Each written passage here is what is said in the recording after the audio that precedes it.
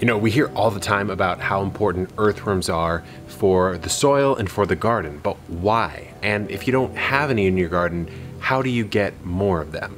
That's what we're talking about in today's video. Kevin Espiritu here from Epic Gardening, where it's my goal to help you grow a greener thumb. Now, did you know that Charles Darwin, the man behind the theory of evolution himself, spent the latter years of his life studying earthworms, and actually the last book he ever published was this one right here, Darwin's classic on earthworms the last book Charles Darwin wrote. This classic on earthworms was a bestseller in that day from the start, selling just as many copies as his book on the origin of species. That's pretty crazy, but he was onto something. He was a master observer, and he was looking at earthworms, doing all sorts of experiments, and really theorizing behind their role in soil, in the ecosystem, and by extension, in the garden.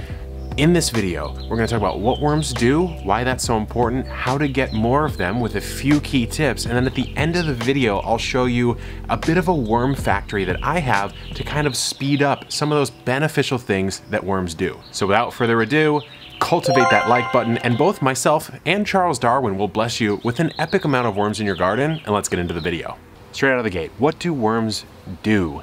In the soil? What's the point of their existence? Well, their point is to survive, to eat, to reproduce, and create more worms. And the way they do that is they burrow through your soil, munching on stuff. They use grit that's also present in the soil to sort of digest, in a sense, that food. It comes out the other end in the form of worm castings or worm poop, which basically just breaks organic matter from larger to smaller pieces. And really at that point, that organic matter can start getting attacked by soil microbes, bacteria, fungi, all sorts of stuff that then break it down further into the components, the elemental nutrients that can be absorbed by your plants, and thus you can get an amazing epic harvest. And all that's being done by worms for you.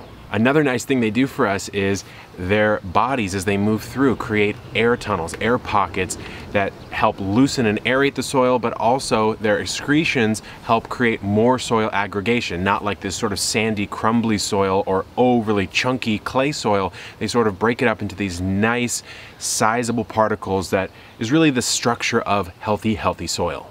There are three categories of worms, roughly speaking. There are thousands of species, but there are three buckets that they all fall into. You have your litter or surface worms. If I threw maybe a couple inches of mulch on top of this bed of onions here, surface worms would be living in between the mulch and the surface of the soil. Then you have your topsoil worms. They live, if the surface of the soil is right about here in this bed, they would probably live within two to four inches of the surface. Then you have your subsoil worms. Those can actually make vertical burrows five, six feet down. And so worms are at play, different species and different sort of groups of worms are at play throughout the entirety of your soil. And that's why it's so important to have a variety of them and have soil that supports them, which is exactly what we're getting to next. To figure out how to encourage more worms in our soil, we must think like a worm. We must become the worm.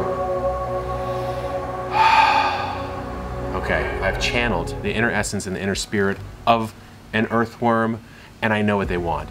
When it comes to soil, relatively cool soil, they don't like high temperatures in their soil. You're gonna wanna keep it nice and moist, but not too dry, not too wet. Too dry, worms are 80% water. They're going to dry out along with the soil. They kind of play the game that they're dealt.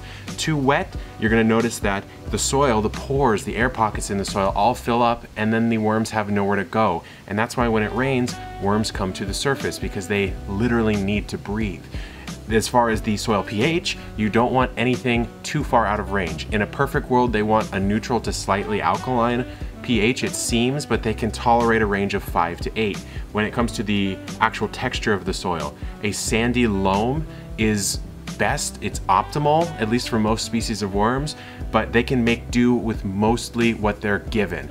Too much clay, it's hard for them to work through, and of course too sandy, it just water pours through and it's very hard for them to stay alive in that type of soil. Some other tips that you can use to concretely improve the ecosystem in your garden for your worms use a no or low dig approach, meaning you're not disturbing the soil in your beds all too often because that's going to disrupt the path and pattern of the worms. You may be bringing some up to the surface that don't like being on the surface. They might dry out and die. So I would adopt that low or no dig approach. If you'd like good instruction on that, my friend Charles Dowding, the master of the no dig movement, one of the big popularizers of that movement, he spends about two inches of compost once per year on his garden beds and he does not disturb them. He just lays it right on top and that's it. I have a full tour with Charles on my channel. It's actually one of my favorite videos I've ever made on this channel. I went all the way to England and we got that video done and it was amazing to meet him. So I highly recommend you check that out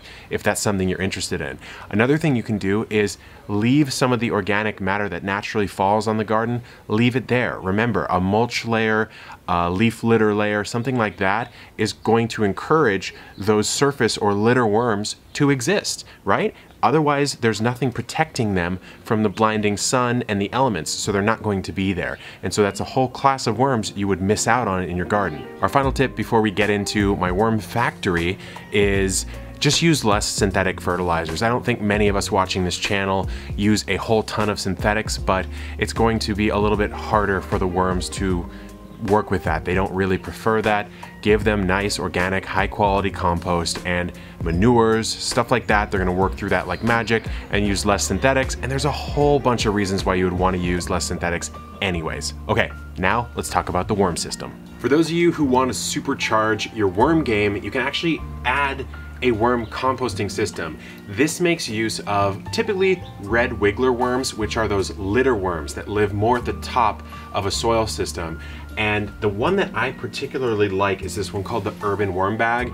My friend Steve, he's actually an airline pilot, and this is what he does in his spare time, which is an amazing thing. It's just a hilarious combination. He's an amazing guy, and he came up with this system, which is basically a continuous flow-through worm bin. Most classic worm bins are a tote system where you stack different trays, and as you move your worms, you kind of move the trays. This one, as you can see, it's one continuous unit. So food goes in the top, worms exist right at that top layer, and their castings start aggregating down here. To harvest, then all I do is I open this little drawstring almost like an actual butt, the worm poop comes out and then I can harvest that and mix that into my beds as a top dressed amendment. As you can see, I have some worm tea that has brewed itself almost down here from a recent rain and I can use this in my garden as well. Now let's take a quick peek under the hood and just kind of show you some of the magic. Before we open it, I just want to be clear. This is not a way to add more earthworms to your soil. It's a way to harness the power of worms to create fertility for free from food scraps scraps from your garden. So now let's open it up. So you can see some of these worms are hanging out on the sides. Most of them are in this clump right here, somewhere right around there. You can see as soon as they hit the light, they really don't like that. These are surface worms, but they don't like to live actually on the surface. And I threw some Mizuna in here a little bit ago and you can see it's been worked through quite, quite aggressively. And so what happens here is you mix some bedding, here's just some shredded cardboard and your food scraps, your coffee grounds, and really they make a quick work of it. They can eat about a quarter of their body weight a day and then it just matriculates its way down here, you can see probably I would say from about here downwards is all pure worm castings that I need to harvest. And then I can continue and just fill, fill, fill, fill, fill, fill, fill. And the beauty is the worm poop down here is not full of worms because they don't like to exist in their own poop down here. So they're always at the top. That's why this bottom harvest is so beautiful. There we have it, everyone. Simple ways to encourage an ecosystem that worms love so that they show up in the garden, they start turning over that soil, doing all those beneficial things that we talked about, giving your plants the nutrition that they need so that they grow healthy and you have amazing harvests. If you want, I'm more than happy to do an in-depth breakdown of the urban worm bag sometime, just so let me know in the comments if you like that. I've tried five, maybe six of the top rated bags or bin systems in existence, and I've even built my own, and this one is far and away my favorite. The owner, Steve, is an amazing guy, and I love it so much that I carry it now in the Epic Gardening store, Prices inclusive of shipping. It's one of the best values, in my opinion, you're going to get for your gardening dollar. So I'll leave that in the description. But until next time, I really hope this helped you, and I'd love to see you in the comments, and I'd love the comments to be collaborative. So if you have a question and you know the answer to someone's question, make sure and answer it so we can build a nice epic gardening community, and I'll see you on the next video. Good luck in the garden, and keep on growing.